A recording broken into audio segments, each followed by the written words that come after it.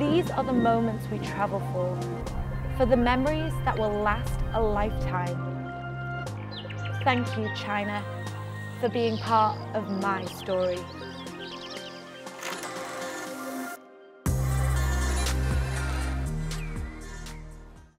Hi, I'm Nico and welcome to my channel. Today I'm going to delve into the making of my Thank You China video. Now, if you haven't seen this video, then I've left the link below, but I'm going to go through it step by step so you can just watch this video if not. I had lots of questions and comments about the different places that we've traveled to since we've been living in China, so I thought the best thing to do was make this video and answer them all in one go. So let's start. Now, the first 30 seconds of this video isn't actually in China at all. Now, the reason for this is because it's building up of the story. The first scenes that you'll see are actually from my home in Northumberland in the UK. Now, I've actually made a longer film, a cinematic version of this, which I'll link up in the corner and also below on my channel, so you can check that out if you want to see the whole story of it. I live really close to the beach back in the UK, so it's such a beautiful area and I love going back to visit. Let's have a look.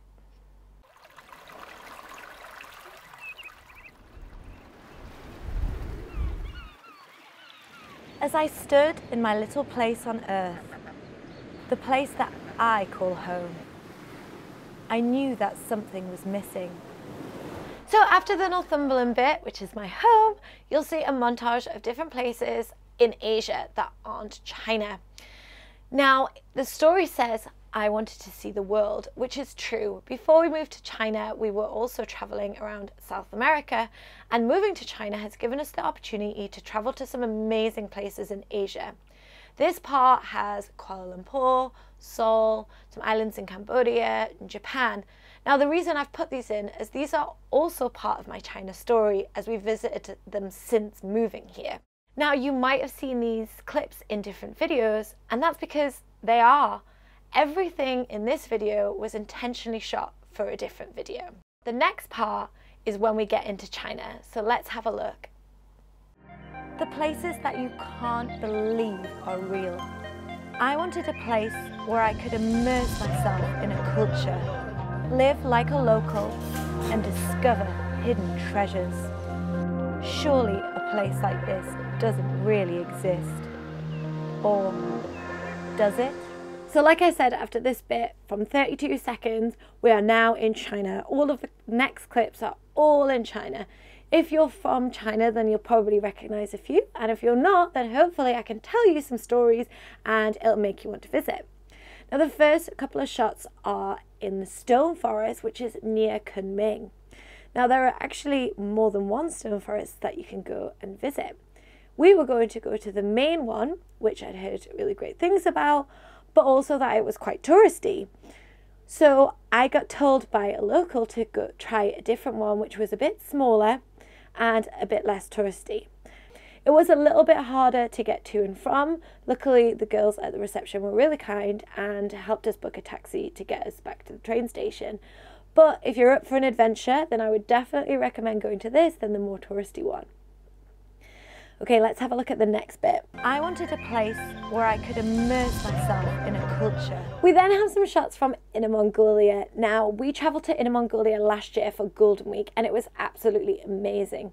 We stayed with a local family in their yurts and the landscape around this area was incredible. There was desert and grasslands, there was loads of animals and wildlife, and it was just such a relaxing place to be. However, the journey there wasn't so relaxing for us. We decided to take the public bus to get there. It was a really hot day and lots of winding roads when you come out of Beijing. And because of this, someone actually threw up on my boyfriend. So that was nice. and I wish that this was the first time that this had happened to us on our travels, but actually, no, it isn't. This would be the third time that someone's thrown up on us on a public bus. I think maybe we'll have to stop taking public buses. After this part, there's a few quick snappy shots Live from like Xi'an, Beijing, and then a slow-mo from Lijiang just before it kicks in. Or does it? Let's watch the next bit and then I'll talk about that.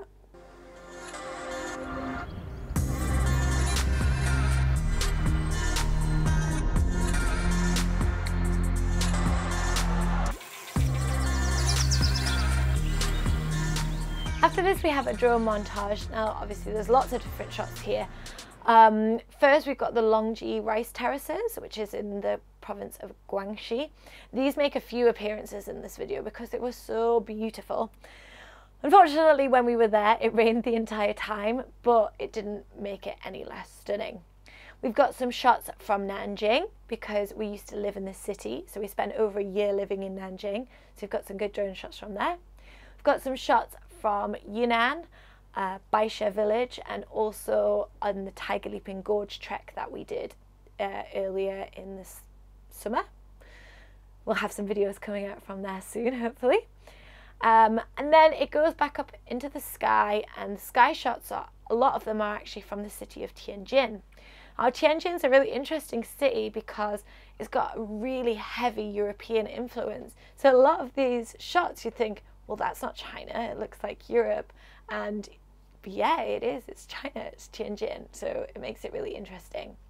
Then I'm about to start talking, and we're going to kick into some time lapses of probably the most iconic skyline in China. You guessed it, it's the Bund in Shanghai. China is the missing piece of the puzzle. So then I start to talk again and I say China is a change, a challenge, an adventure. Now when it says change, it's Xi'an at night time, it's the drum or bell tower, I'm not entirely sure which one. They were both really beautiful. Xi'an at night was just amazing. Really loved how lit up it was and it just was such a beautiful city. A challenge, I'm actually walking on the roof of the Bird's Nest Stadium. I didn't even realize that you could do this, but if you come to Beijing, you can obviously go inside this, the National Stadium, which is nicknamed the Bird's Nest, which is great. It's a really cool thing to do, but you can also walk on the roof, which was amazing. Uh, you got to see some really great views. It was a little bit scary, but I would definitely recommend doing it. And adventure was Tiger Leaping Gorge. Now, this trek was one of the most beautiful treks that I've ever been on, not just in China, ever. And it was just like a proper trek here in China, and it was just such a great thing to do. If you like hiking, then you have to do the Tiger Leaping Gorge trek, trek in China. I've experienced things that I didn't know were possible, and I've got to see some of the most beautiful places along the way. A lot of the next bits were um, shots from Inner Mongolia. Like I said before, it's such a varied landscape that loads of times you'll see Inner Mongolia popping up and you won't even realise because it looks just so different in every shot. There's a little shot from the top of Sun Yat-sen Mausoleum in Nanjing, which was my favourite place to go in the city. It looks absolutely incredible in autumn when the leaves are changing and you can just see these beautiful leaves for miles. And also we've got some shots when I'm on a scooter, which is in Yangshuo. Now, Yangshuo was such a beautiful area. Now, if you're coming to China, I definitely recommend going to Guangxi province and exploring the karst mountains that surround this area. They're unlike anything I've ever seen. It's so incredibly green as well, which doesn't surprise me because it rained the entire time that we were there.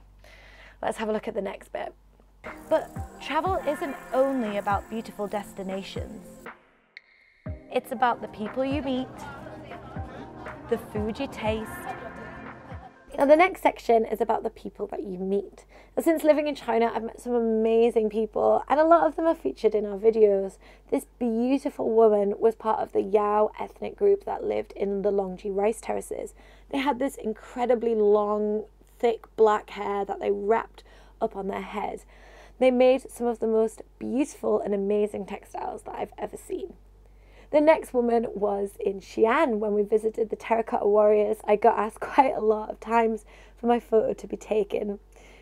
I don't actually mind this, but I know that some people kind of can get a little bit offended, but I think it's really quite cute that people want to take a photo. And that happened again on the bridge outside the Pearl Market when we were making our markets video in Beijing.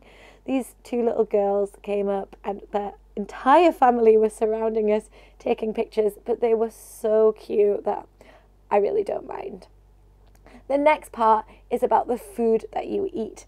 Now, this food montage is all from Xi'an. Xi'an had some of the best food that I've tasted in China. It was absolutely amazing. I've had a lot of comments about what's that smoke coming out of your nose? And that's called dragon's breath. Now, it's one of the things that we tried in Xi'an. I actually thought it was some like colorful little sweets. I was like, mm, they look tasty. I had no idea that all this smoke was going to come out of my mouth when I ate the sweets. They were a little bit weird. They tasted a bit like an ice cream cone with smoke. They didn't really taste of anything. I think it's more for the funny effect. And it worked because lots of people were asking what they were. It's about enlightening the senses. Travel is education. The next part is about enlightening the senses. Now, a few of these clips are from the old town of Lijiang, which is in Yunnan. When we visited this province, it was that just that. It was such a colourful area and it really just opened my eyes to how diverse China actually is. The next few clips were from the Confucius Temple in Nanjing. As I mentioned before, we used to live there, so we've got lots of shots from Nanjing. The next bit is about education. Obviously, it's one of the most famous sites in China. It's the Terracotta Warriors in Xi'an. Now, I learned a lot being there, but also I've learned a lot on this entire journey in China. Everywhere that you travel is an education and it opens up your eyes to learning lots of new things, which is why I love traveling so much. Escape. So I say escape. Now, the shots here, there's one where I'm sand sledging, which I've not done before, um, and that was in Inner Mongolia. As I said, it's got desert and grasslands. That was a really cool experience. And then I'm skiing, and yes, I'm skiing in China because you can ski in China. And this was at the resort town of Chongli, which is where they're going to hold the Winter Games in 2022. We've been actually twice to ski in China to do different places and we made a video about it, so you can check that out. Travel is about a change. Now the change bit is actually from my Western food video. Um, at this particular moment, I'm trying some bread and unfortunately it's sweet. Now what I found here in China that is that in a lot of Western style bakeries, uh, you think it's going to be one thing and actually it's another. So a lot of time I'm like, mmm, cheese bread, that's going to be savory, but it turns out that it's sweet and it can be a little bit disappointing. Now I'm from the UK, so I like my bread to be savory and my cheese to be savory. But, you know, that's what travel is. It's about changing, it's about experiencing new things that you wouldn't back in your own country. And I guess that's the point of this part. It's about a journey. Travel is life. These are the moments we travel. So as the speaking bits are drawing to a close, it's starting to ramp up a little bit. Now these shots are some from Guangxi area. Like I said before, we've got kind of Longji rice terraces. We've got some from Yangshuo. All these very, very green shots. They're all that all Guangxi province. We've got some shots from Xinping, which is so beautiful that China have imprinted it on the back of the 20 yuan note, which is what you'll see, and these beautiful karst mountains. And we've got some shots again of the adventure that we went on from Tiger Leaping Gorge. And then this whole section ends with like a slow motion shot of me walking up the steps to the Temple of Heaven, which is one of the most iconic sites in Beijing. And if you come to Beijing, then you should definitely visit it. Let's have a look at the next bit. Then it goes into a really fast effect which is actually not video. These are all different photographs of different places that we've been. And it's just really snappy, like. And these photographs you'll all find on my Instagram account, which is at wearenico. So if you want to see more good photography, then check out my Instagram account.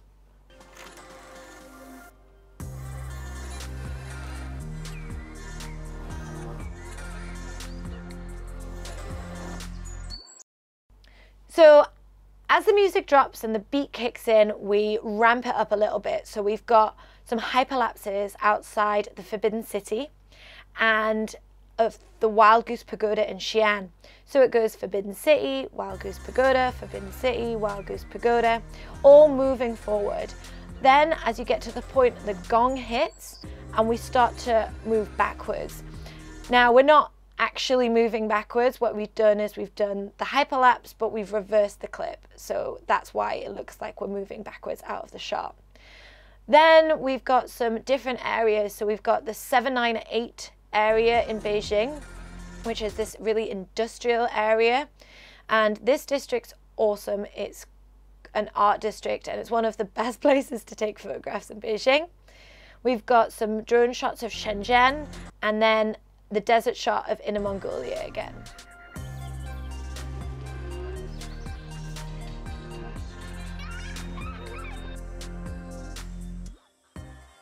After this really cool fast fast paced bit, we slow it down a little bit again by putting some more shots in of um, me with some other people. We've got a shot of me in the flower field in Tianjin, and we've got some of me uh, feeding a cow, which was in Inner Mongolia. There's absolutely cute little dog that we found in Longji rice terraces. And then also some more of like people that we've meet that we've met. So there's a guy that I'm dancing with in Nanjing. There's some cute little kids in Shenzhen. And the cutest little girl again in Nanjing in the pushchair which is nearly the end of the film. Right at the end of the film we cut into some shots of me walking. Now, a lot of people asked, oh, was this in Chongqing? Because um, it looks really spicy, I guess. But actually, these shots at the very end were in Shenzhen. The lighting in Shenzhen was really nice around the food markets, and that's where the video comes to a close. So as you can see, it's quite a fast-paced video. Now there's a few reasons that we did this. One is because we made it for a video competition and the video competition states that you have to have it under three minutes. So we wanted to cram as much into those three minutes as was possible. But also we wanted to make it quite fast-paced to keep the viewer entertained. And as we said before, we didn't make this film specifically for this. It's a montage of different videos that we made so we needed to make the editing very clever so you didn't notice that it wasn't made for this film. Now a lot of you have asked about the music that I used so I've dropped the name of that below and also we get our music from Epidemic Sound. We have a subscription there so it means that we can use as many different music, as much music as we want because we pay for this subscription. Also, if you're interested in seeing what gear that I use, then I've left my kit below as well, so you can take a look at that. This is the first time that I've done this sort of um, video, this breakdown video. Let me know what you think about it. If you like it, then maybe we'll consider doing some for other videos as well. If you don't, that's fine. I just thought I'd give it a go. If this is the first time that you're watching some of my videos, then make sure that you subscribe and have a watch of some of the other ones. I hope you liked this video and let's finish it off by watching the whole Thank You China all the way through. I'll see you next time.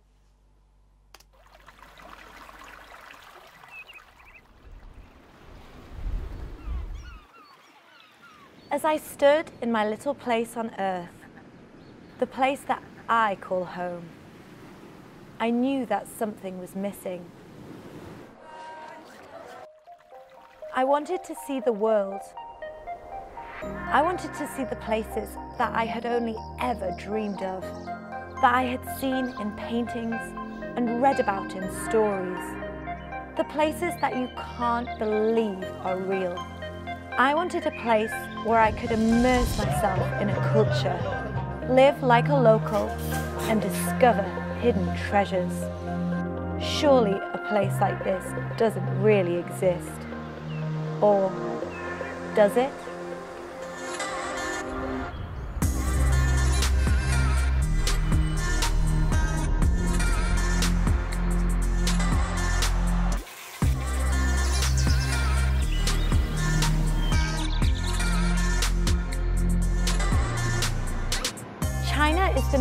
Piece of the puzzle. China is a change, a challenge, an adventure. I've experienced things that I didn't know were possible, and I've got to see some of the most beautiful places along the way. But travel isn't only about beautiful destinations. It's about the people you meet, the food you taste. It's about enlightening the senses. Travel is education, escape. Travel is about a change. It's about a journey. Travel is life. These are the moments we travel for, for the memories that will last a lifetime. Thank you, China, for being part of my story.